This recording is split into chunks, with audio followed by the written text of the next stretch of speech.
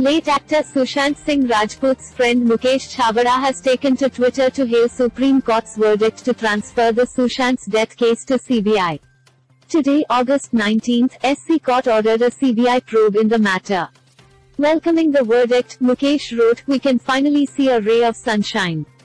The truth will prevail. Waheguru hash CBI for SSR.